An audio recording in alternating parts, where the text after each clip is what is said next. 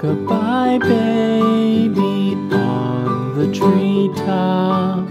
When the wind blows the cradle.